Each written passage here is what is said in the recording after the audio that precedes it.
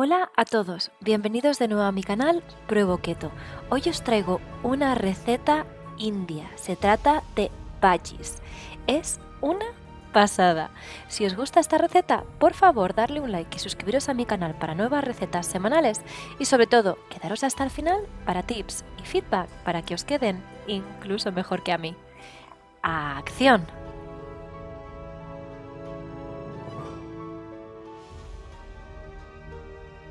Vamos a empezar rayando una cebolla y poniéndola en un bol. Al principio he empezado con la cebolla entera y no me apañaba muy bien, así que la he partido en dos mitades. Y mucho más sencillo.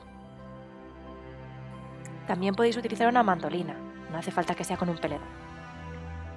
Ahora vamos a añadir todas las especias y el resto de ingredientes. Incorporamos el zumo de media lima. En mi caso ha sido una lima entera porque la verdad es que no he conseguido sacar demasiado de únicamente la mitad. Así que al final he decidido optar por las dos mitades. Las especias que utilizamos son cilantro fresco y seco, ajo en polvo, comino en polvo, pimienta negra, sal y curry. En mi caso he utilizado ras hanut porque era el que tenía en casa. Ahora vamos a añadir también la harina de almendra, y lo vamos a remover muy bien con las manos. Añadimos el agua muy fría. Yo la he puesto en el congelador unos minutitos antes de hacer esto. Y seguimos mezclando. Y como yo tengo muy poca fe en mí misma, como siempre, he utilizado goma chantana. No creo que la necesitéis, pero yo la he utilizado. Mm, no os lo recomiendo. Obviarla, de verdad. La receta original no la utilizaba y le quedaron mucho mejor que a mí.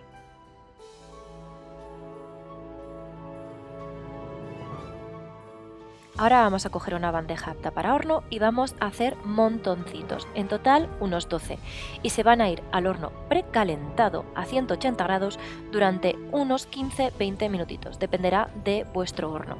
Y aquí viene el tema, yo creo que la goma chantana ha hecho que les cueste bastante más el coger el puntillo, así que lo dicho, eh, si lo queréis hacer con goma chantana necesitará más tiempo y quedarán más gomosos. Y aquí los tenéis. Los vamos a pasar a una bandejita para que acaben de enfriarse y están listos para disfrutar una buena noche de cena india. ¿Qué os parece? Solo os queda servir y disfrutar.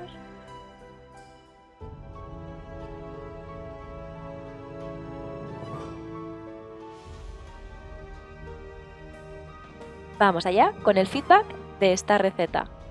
Se trata de una receta del canal Estate Keto de Insta. Es increíble el canal de Belén. Es un cielo de persona maravillosa, magia pura. Mm, vaya, es increíble. Os lo recomiendo muchísimo. Además es una puñetera artista a la hora de emplatar. Todo le queda bonito.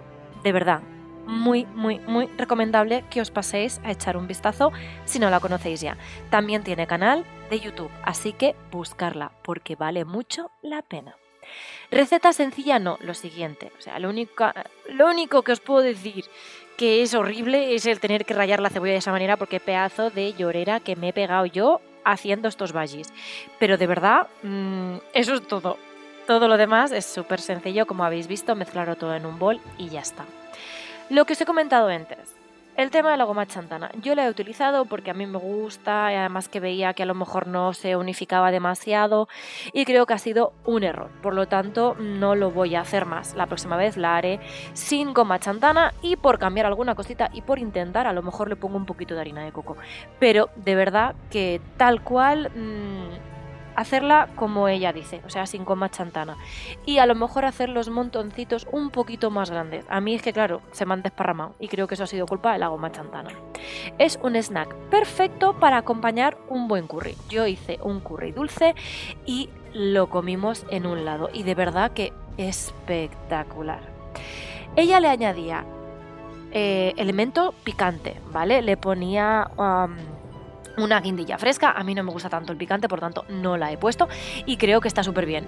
Ha compensado un montón que el rashanut pica de mala manera, por lo tanto ya estaba suficientemente picante para mi gusto.